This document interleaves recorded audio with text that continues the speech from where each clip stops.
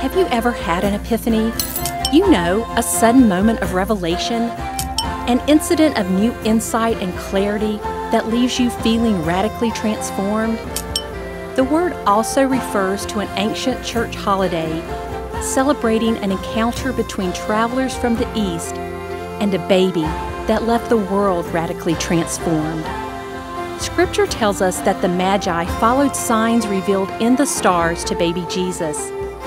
In this one celestially guided voyage, the holiness of Jesus' birth was revealed to the whole world, a true moment of revelation, an epiphany.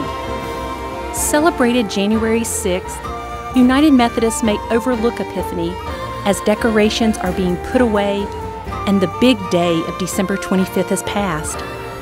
However, this holiday, celebrated since the second century and predates the celebration of Christmas, is a time to ponder how the birth of Christ can transform our lives.